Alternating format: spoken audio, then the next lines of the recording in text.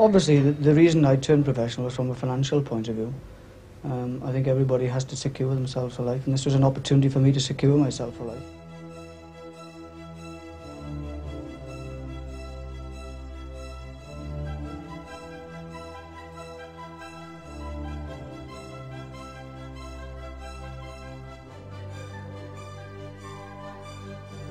I decided because rugby league in those days was uh, don't touch me, you know. If you were a rugby league player in those days, you were barred from everything, you know. I mean, uh, you weren't part of the social thing, not only rugby, but the, the, social everything. People just sort of shunned you, you know. You were a professional player. In 1895, rugby football split in two.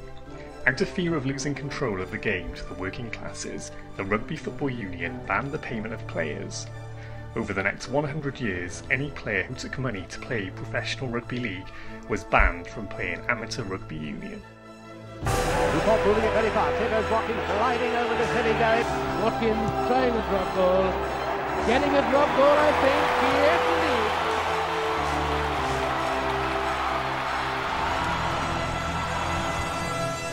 indeed. It was very difficult. I mean, living in Club Row very much a working class area. Your father was a miner, your grandfather was a miner, your well, both grandfathers were miners, and you know.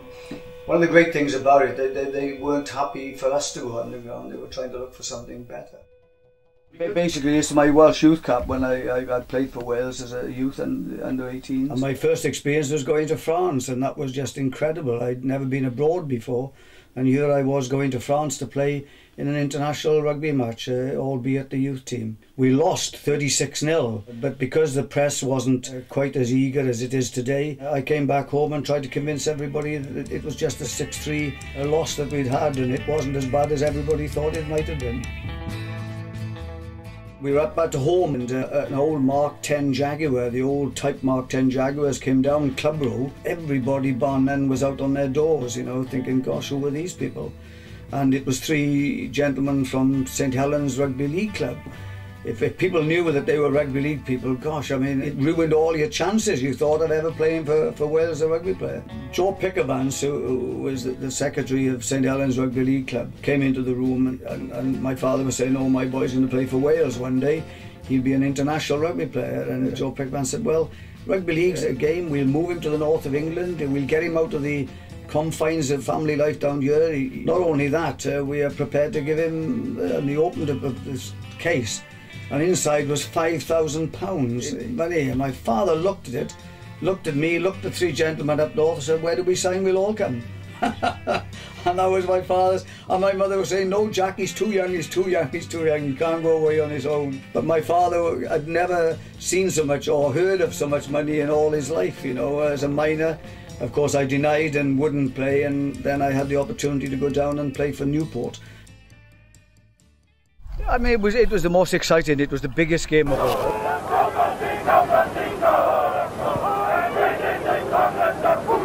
To have 28,000 or whatever it is here on that particular day, you just wouldn't believe uh, people. And, uh, I mean, it was something extra special, really, and uh, an opportunity to play against um, players at the world known. To come down here as we did on that Wednesday afternoon uh, to play the All Blacks and you go into the ground and you made sure you're over, over here early enough and it was quite incredible actually seeing the people swarming in uh, even from work in afternoons who've taken time off to come and uh, it was just a massive people and you, you knew when you came out from running at the top end of the ground and running out onto the pitch here to play against the mighty All Blacks was something quite outstanding. Something I never dreamed of, I suppose, as a youngster. Prosser to Watkins. And here goes Watkins on the outside break. Out to Stuart Watkins. And here's danger for the All Blacks. Lahore covering for the All Blacks right in front of their posts. Now Newport want the heel. Can they get it? They can. Prosser. Uzzell trying to drop goal.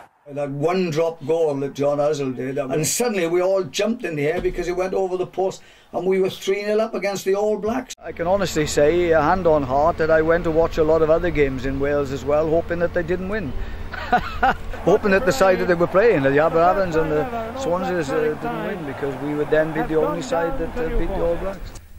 Me at my house in Six Club Row, cleaning my boots for my very first international, so you can see how excited I am then. I always remember walking across to the ground, getting to the main gate at Cardiff, and he said, Where's your ticket?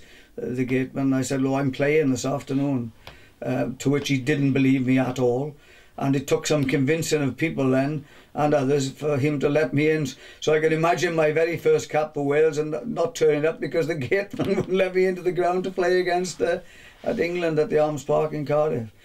But it was a momentous occasion, and then uh, being presented with your cap as you did after the game, uh, which was quite incredible. It was a prized possession to play for Wales and, and to be an international rugby player, being watched by nearly 60,000 people, was something you just couldn't have uh, envisaged as a youngster. And uh, here I was doing it.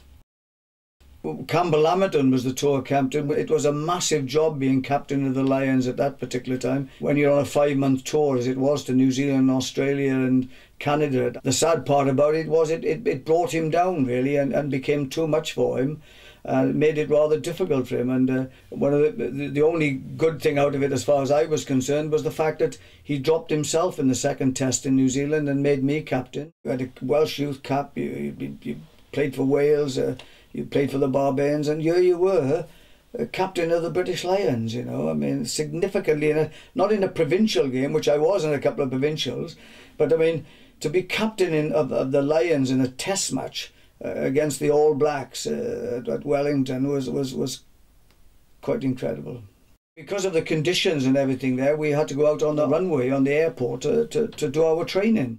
Uh, somebody would shout, the plane's coming, and, and all of a sudden 30 players would be running off the pitch at the same time in case the plane came down and hit us all over.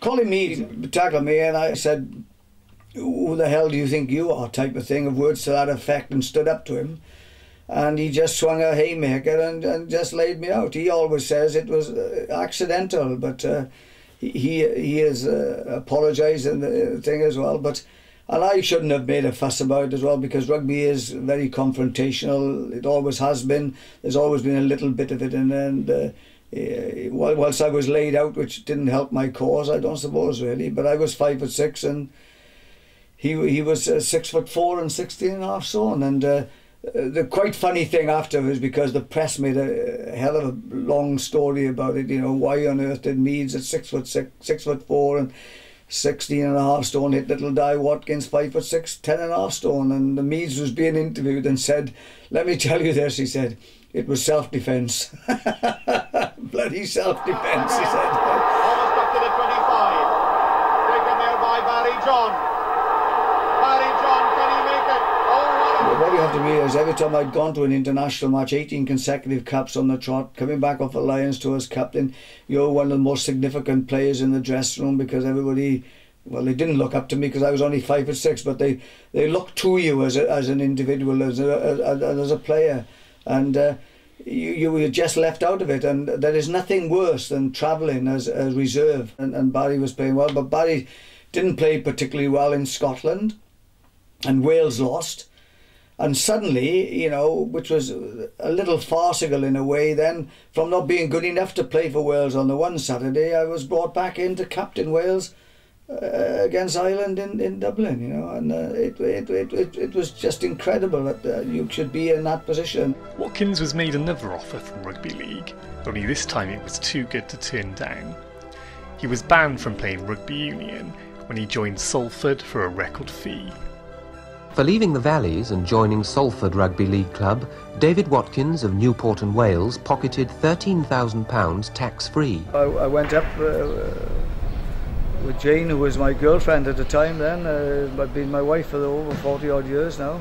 And we went up to Manchester and um, had the money, bought a house for cash, you know. Who, who would ever do that in those days, I suppose, really? We went out onto the field, 19,000 people at, at Salford, packed to the ground.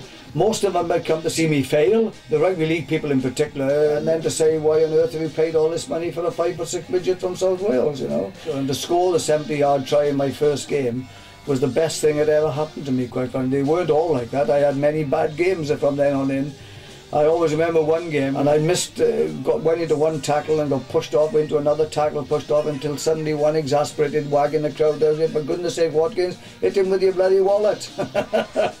so, so biased was it at the time. I, I got hit after the ball had gone, you know, and I said, for God's sake, Webb, you must have seen that happen. And he said, hey, don't ask me to look after you, look after yourself, you've been paid enough. And, and that was significantly what everybody thought at that particular time. The money became the most important factor of your rugby career. Once you once you gone north, you, really put your cross on the door and burnt it. You were now a rugby league player. You were a professional. You were being paid for what you were doing. You'd gone to the north of England. You moved away and you, you, you did what you wanted to do, and uh, that wasn't acceptable to the people down here in South Wales. I could hear Dad. He, he would no doubt tell everybody uh, who I was associating with. You could come home and say to people, "Oh, I sat with George. We had a meal together." You know, a, a, a miner, which would be one of two or three hundred had worked at the colliery. He, he, was the guy that they would sit in the tea room asking him questions about Man United to Man City. Rugby gave you an opportunity to A, to meet people, um, B, to travel, which you couldn't have afforded to have travelled the extent of the travelling that I have done and to have the good times I've had to, to, to, to have a wife like Jane who was bringing up two children while I was still enjoying myself playing rugby and going off on the tours, and you have to be very grateful for that. And we've been together for that right the way through it. And her family and my family have been so supportive. So at the end of the day, it's like everything else in life. If you don't have that support uh, from all those people at the same time, it can make life pretty precarious to have a sporting career. So rugby has given me something that uh, that uh, I, have got to be so grateful for in life, quite frankly. Uh, there I was, a, a valley boy, a working class background, and having an opportunity of doing far more, and having the opportunity to do everything you wanted to do in your life. And uh, when you sit back and think about it, it, it really does give you a, a sense of how lucky have I been, and I have been extremely lucky, I suppose, really. In 1995, 100 years after rugby's Great Divide, rugby union turned professional. Union players who had gone north to play rugby league were welcomed back and no longer under ban. Today David Watkins is on the board of Newport Gwent Dragons Rugby Union and the Celtic Crusaders Rugby League.